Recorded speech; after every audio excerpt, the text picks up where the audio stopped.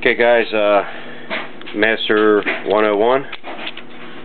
Oh, there you go. It's a interchangeable core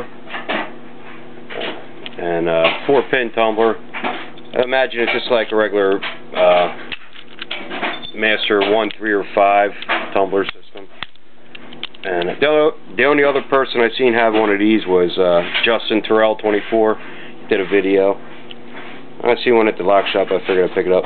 Make sure your wrench is up high enough to clear the rivet. You know. Um, hollow hollow diamond E series pick. And here we go. Oh.